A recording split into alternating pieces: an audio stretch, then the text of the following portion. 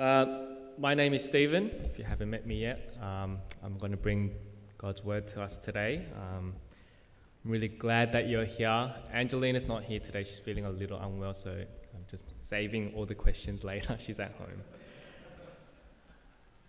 People more worried about Angelina than they are of me, but that's great. um, I, I think often our approach to religion and, and being a Christian in Christianity is that we don't want God or you know who, whatever we might believe you know about God. We don't want God to make our life hard or harder. We want to make our life easier. And if I'm honest, that's really half the reason why I do anything in life is to make my life easier. Uh, I, we, we, we, invent gadgets and ways to make life easier. Uh, I, I make money to buy things to make my life easier. And we can carry that same mindset over into how we relate to God. Uh, we want to hear what we want to hear. We want to feel the way we want to feel. We want God to align with us because that is how we make our life easier when, when God aligns with what we want and tells us that we should feel how we feel and He agrees with us. And we get annoyed if He doesn't. Well, Christianity does give us some hard truths, um, and you know, it, it tells us if there is a God, then he, He's not interested in just you know floating around and being your little personal genie or guardian angel. Uh, he, he demands that you worship Him and, and you live a life that obeys Him and aligns with Him. And that tells us that the way we think, the, uh, what we think is good for us, and what we think we need may not actually be good for us. We might not be the ones that have ultimate control over what we have. And that means following God being a Christian is really hard work. Being a Christian is hard work. Following God, obeying God, and living a life that honors God is hard work. Because in so many ways, we're living a life that isn't about fulfilling what we think we want or what we think we need, but what God says. So we're going to find out what encouragement the Bible has to offer for those, those of us who are finding it hard to follow Jesus and we're finding following Jesus hard work. So let's pray. Father, we come to your word, and it's your word. We need your help. By your Spirit, would you help us uh, hear and apply and honor you and, and fall in love with you a little bit more today? We pray in Jesus' name. Amen. Um, so we're in the book of Philippians, and last week Glenn reminded us, uh, Glenn told us this message of, of Paul gave us this command that we should do nothing out of selfish ambition, um, but instead we should value others above ourselves. We should look to the interests of others. And he gave us the example. Who was the example? Jesus was the example of that. So he gave us a command and he gives us an example. And he's going to do that again for us in these verses. He's going to give us a command, and then he's going to give us an example of what that looks like. In verse 12, um, Paul starts off by saying, with the word therefore. So we need to remember when there's a word, when the word therefore means you should read whatever's coming in light of what we just read. So if we read verse 12 and it says, Therefore, um, my dear friends, as you have always obeyed, not only in my presence, but now much more in my absence, continue to work out your salvation with fear and trembling. We could read it as, Since you've just heard about Jesus' example of humility, therefore you should now work out your salvation with fear and trembling. So you've just heard about Jesus. Now, in light of what you know Jesus has done, this is how you should respond. This is my command to you, knowing what Jesus has done for you. You should continue to work out your salvation in fear and trembling. So here's the hard truth right here. Paul is saying that work that uh, being a Christian having heard about Jesus and then living it out, you have to work at it. That's the word he chooses to use. You have to work at your salvation. Work out your salvation. Uh, Paul thinks it's hard work to follow Jesus. To follow Jesus, you're going to have to put in some effort. Uh, if we look down in verse 16 and 17, and uh, it's on the screen, I want us to notice how Paul describes following Jesus. He says, I'll be able to boast on the day of Christ that I did not run or labor in vain. So, so he describes his journey as a Christian as, as like running a race that's tiring and as labor. It's hard work.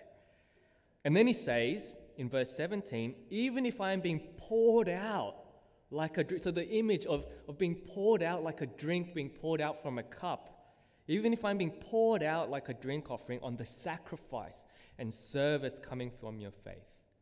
So Paul is saying following God can really feel like hard work. Paul isn't afraid to admit that following Jesus is tough. It can feel really tough. He's not afraid to admit it. And neither should we.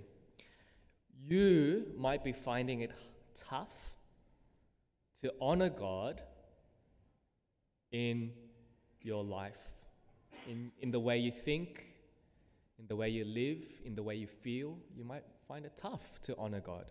You might find it tough to honor God when you're hanging out with your friends, maybe from high school or, or, or from work, and they're not Christian, and, and they do things on a Friday night that's not really what a Christian should do, but you find it tough to navigate that, how to hang out with these guys and, and to enjoy their presence and have them enjoy you, and yet you know there are things that you shouldn't do. You might be finding it hard to honor God and, and finding it tough to follow God um, in your relationships, in your marriage, you know, when you're arguing with your partner, or when you're angry at your kids, you might find it tough. How do I, how do I honor God and follow God here? You might find it hard to honor God and trust Him when bad things happen in your life. And, and you're like, God, this is really bad. Why would God, if He loves me, why would He let this happen to me? You might find that really tough. If you found it at some point in your life or in this past week hard to love your enemy, if you found it hard to control your anger, if you found it hard to speak to your lesbian or gay friend about what the Bible says, then you are absolutely right. It is hard. Being a Christian and following Jesus and obeying his commands is tough. It's hard. But Paul says, even though following Jesus is tough, we can rejoice. We should rejoice. Don't rejoice because life is easy or following God is easy. Rejoice, even though following Jesus is hard, because he says what you're going through is not in vain. Do you see that? I did not run or labor in vain. What you're going through is not in vain. See, life without God is hard as well. And life with God may be even harder. But if you have God, your suffering and, sh- and hardship and difficulty has meaning. Jesus is coming back. The day of the Lord is coming. So work hard in working out your salvation because at the end of the day, it will not be in vain. Now, Paul, obviously, he's not saying work hard so that God can love you. You don't have to work hard so that you're accepted by God. Paul is saying, work hard because you can't approach being a Christian or, or Christianity as a sort of, you know, look, I got baptized once and move on with your life. Or I went to church the other week and move on with your life. Or I mean, even I'm in the leadership team. I, am serving in music or, or some other thing, and you know I'm a great Christian role model, and then just move on with your life. Paul is saying none of that means anything if you aren't continuing to work out your salvation. And for us to continue, to even want to continue to work out our salvation, even though it's tough, we have to have a certain attitude. And that attitude, Paul says, is an attitude of fear and trembling. Work out your, continue to work out your salvation with fear and trembling. Let me just put that back up. Now, fear and trembling the wrong way to take this fear and trembling is to sort of say, okay, when we're before God, we need to sort of like hide in the corner and cower and, and you know, wet our pants, sort of fear and trembling. This isn't that sort of fear and trembling. This is a sort of fear and trembling that, that doesn't make us shrink away, but actually uh, it, it, gives us strength and courage and, and it, it gives us this mindset and, and to carry on and power to carry on. Fear and trembling before God is a fear and trembling of awe. If we, I, would, I really want to go and see the Grand Canyon one day. I don't know if you have, but I've heard that when, um, when, when you stand in front of something as awesome and big in nature, like the Grand Canyon, eh, you feel how, how massive and how grand the world is and you just feel really small in comparison. And, and sometimes that really brings you back to reality and tells you maybe I'm not the center of the universe. Maybe there is something bigger out there. Now, I really want to go and, and, and see that one day. But, I, I but you can experience that even in a You go anywhere, and you, if you just take a moment to look at the world around you, to look at nature, to, to look at how awesome and beautiful even just a small plant might be, a flower might be. And you realize, wow, really? All that for this one little plant that no one might even look at, and you realize, man, I'm so small, I'm an insignificant part of this world. You fear, you tremble, you're in awe because you realize there's something bigger out there. You are in awe of God. And, uh, and this fear and trembling, if you're in awe of God, it should give you courage. Um, you know, I'm, I'm scared of my dad. you know, um, uh, look, we can have fear of a loving and caring father, right? We can have a good fear uh, of the wrath or anger of a judge or a lawyer who, who knows what is right and who cares about justice. We can have a good fear of that. I can be afraid of my dad, but I can also respect him when he's angry at something that is wrong or evil or unjust, I'm afraid, but I respect that.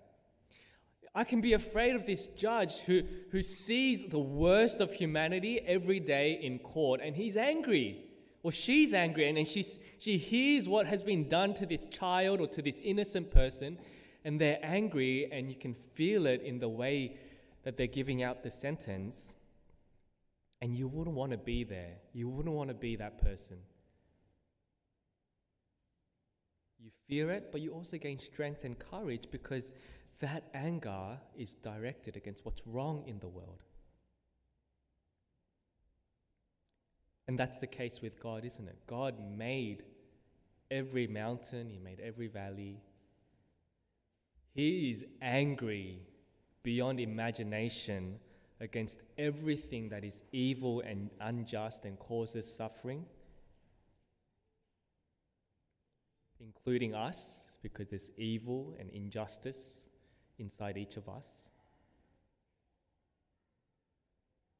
But he's, he says, Look, I'm not far away. I'm not, I'm not an angry God that's going to sort of point a finger at you and say, You suck, um, you're done, you know, move on. He actually says, You're really evil, you're really bad, I'm very angry, but I'm going to come close to you. I'm going to come down to your level. And even more than that, he actually says, I'm going to come and dwell and live inside of you.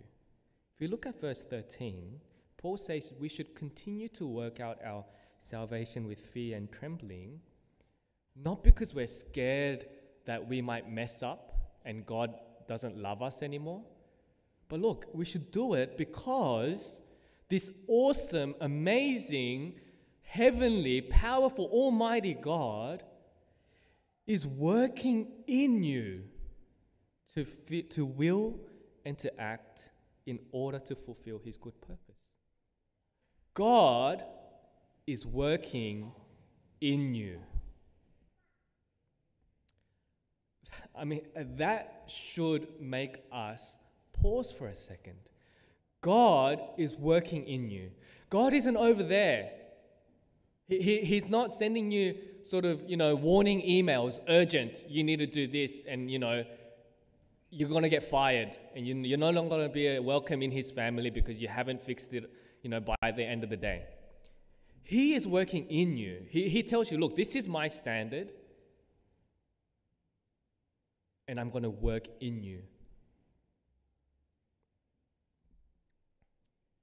You know paul talks about being a christian as like running a race or labor and it's hard work and he's pouring, he's being poured out.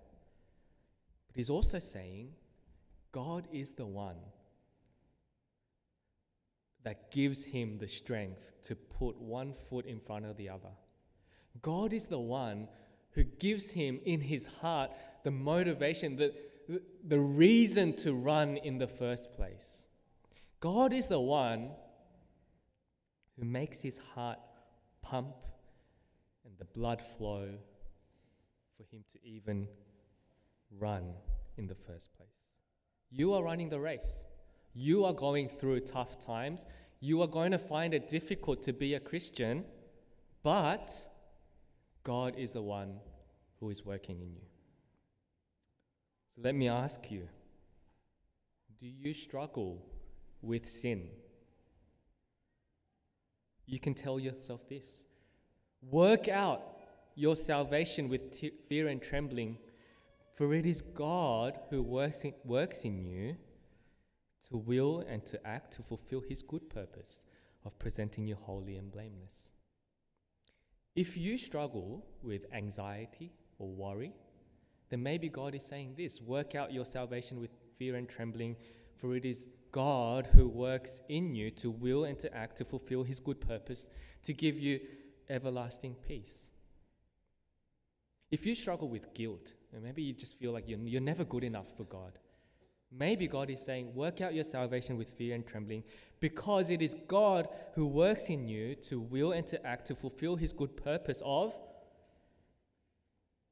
giving you the full assurance that you are saved by grace alone that you are no longer a slave to guilt or to sin, but you're a child of God. There's no greater assurance and no greater encouragement for us to live day by day than to know that God is working in us for His good purpose.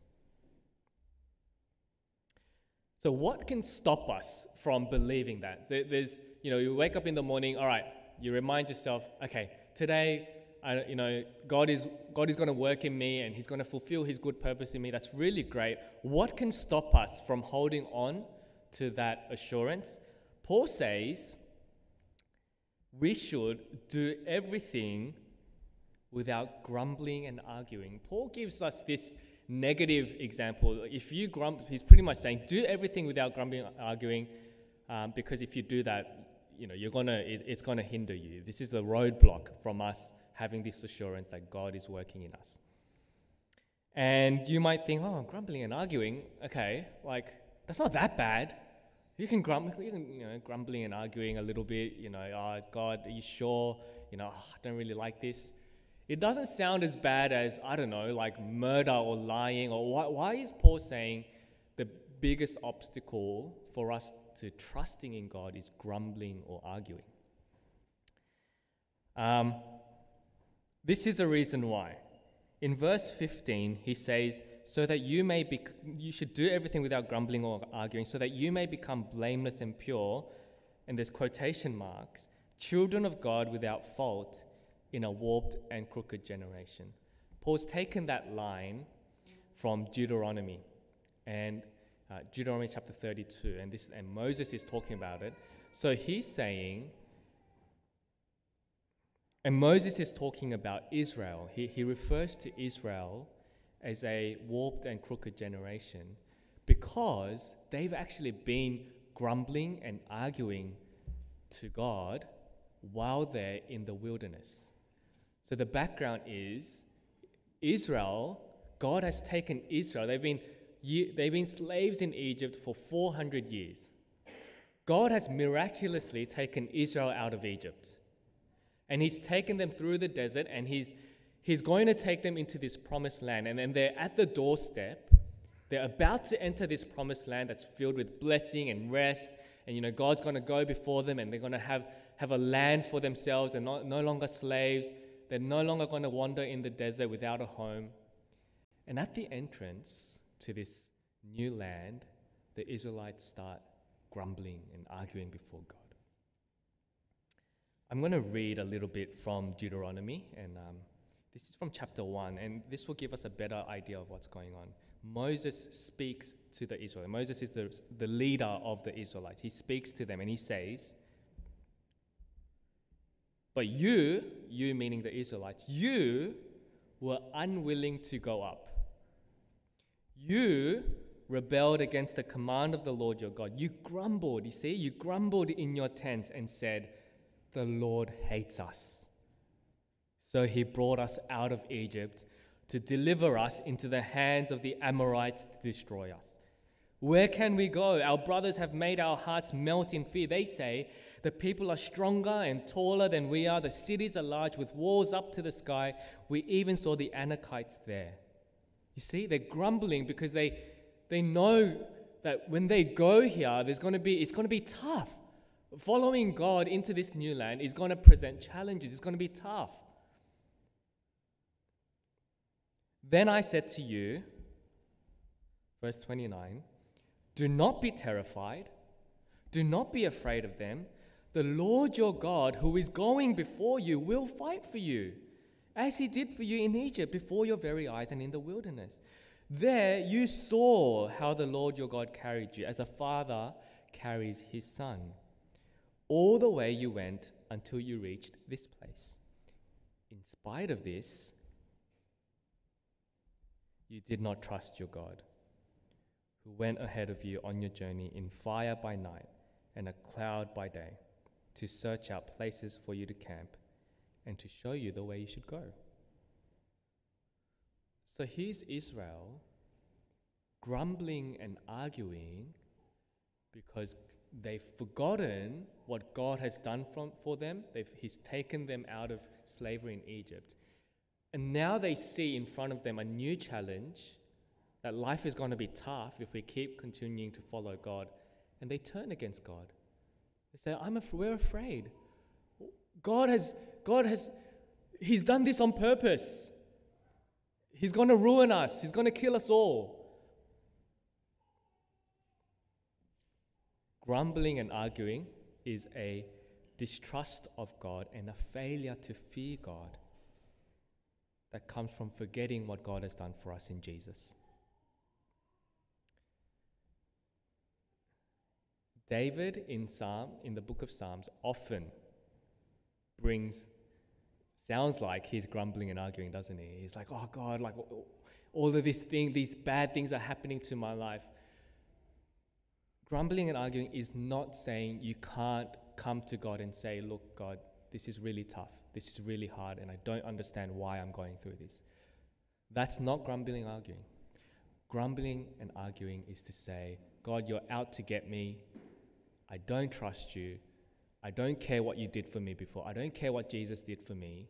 That means nothing because my present situation is tough and I'm going to forget everything that you have done for me. That's real grumbling. That, that's the grumbling and arguing that Paul is talking about. He's not saying you can't be honest before God. He's saying you can't do that while forgetting about what Jesus has done for you. If you're not a Christian and you're sitting here at church today, then um, here is a God um, the God of the universe. He's all powerful, He's all knowing, He made you, He knows everything about you, and He knows what you're going through. And He says to you today, I am the Lord your God, and I'm going to go before you. I'm going to fight for you. I'm going to uh, make your path straight. I'm going to carry you like a father carries his son. And I don't know what you might know, think you know about God or you've heard about God or Christianity. But God is not this, you know, police officer in the sky waiting for you to slip up to give you a ticket. He's not a puppet master who treats this world and you as his toys and he doesn't care what you go through. He's like, God says, as a father carries his son, God made you, he knows you, he holds you close. And I want you to invite, and I want to invite you to put your trust in, in God. Because this is what he promises to do for you. And for those of us who do consider ourselves to be Christians and to be followers of God, let me encourage you as you hold on to God's commands, as you uh, try to be salt and light in your family and in your workplace, as you have these conversations with people you know are living in sin, as you have these conversations with yourself, as you try to figure out what it, what it looks like for you to be a Christian and to honor God. God says, I'm going to go before you, I'm going to fight for you, I'm going to work in you remember that Jesus fought for you. Jesus died for you. He was obedient even to the cross. And He's going to carry you all the way so that everything you go through is not in vain. Rejoice and remember what God has done for you this week in Jesus. I'm going to end by looking at two people, and uh, for some reason, the slides aren't on the thing. Um, I might have, must have made a, I must have uploaded the wrong file, but um, we're going to look at two examples, two examples of two Christians, um, and this is what we're going to end with. And these two Christians, according to Paul, mirror in some way the example of Jesus and sort of what we should be trying to be like. The first example is this guy called Timothy verse 19 down to 22. If it's not on the screen, you can just listen to me. He talks about Timothy and he says this, and you can tell he really loves Timothy. I hope in the Lord Jesus to send Timothy to you soon, that I also may be cheered when I receive news about you. I have no one else like him. It's an amazing thing to say. I have no one else like him who will show genuine concern for your welfare. Everyone looks out for their own interests not those of Jesus Christ. But you know that Timothy has proved himself because as a son with his father, he has served with me in the work of the gospel.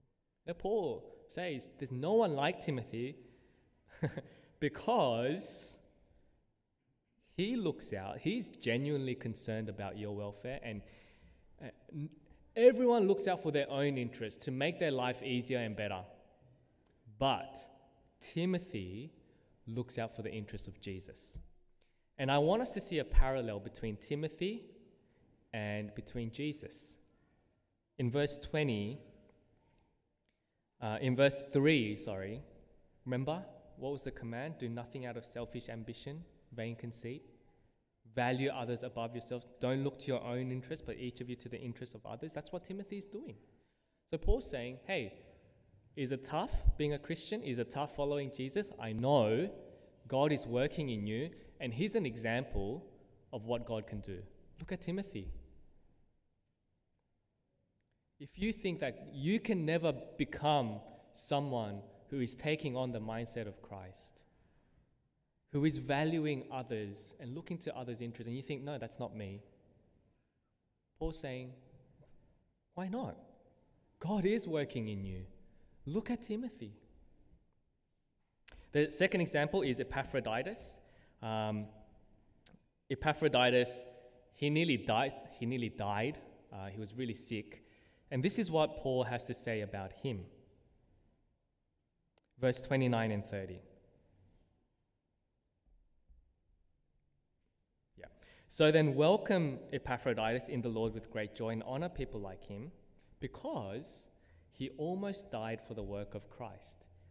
He risked his life to make up for the help you yourselves could not give me. Epaphroditus was from this church, this Philippian church, and he came to Paul while Paul was in prison. And Paul's saying, This guy nearly died to help me. This guy nearly died because he was doing something that you couldn't do. And once again, there's a parallel here, isn't there, with what Jesus has done. Verse 8 Being found in appearance as a man, Jesus humbled himself by becoming obedient to death, even death on the cross. So, once again, Paul is saying, You think, I know you think it's going to be really tough, and it is, to give your life for someone else, to give your life for Jesus. But God is working in you. Look at Epaphroditus. He died, he almost died to do the things that you couldn't do because you were physically not there. He nearly died for Jesus and for me. God can and does and is working in you right now to make you like Jesus and to fulfill his good purpose. And I want to encourage you that when you find it tough, don't grumble, don't argue, but come to God to remember what He has done for you in Jesus and to remember God is working in you every single moment in your heart, in your actions to fulfill His good purpose. And I want that to be your strength and your courage. Let's pray. Father, we thank you for your word, and we thank you that Jesus was the example of obedience and humility and, and caring for the other more than himself. And yet we also see that Timothy and Epaphroditus was doing this. Lord, thank you that you're working in each one of us to work out our salvation with fear and trembling, and you are molding us into this very example. Help us to be encouraged, help us to gain strength, face every single day because you are working in us. We thank you and we pray in Jesus' name. Amen.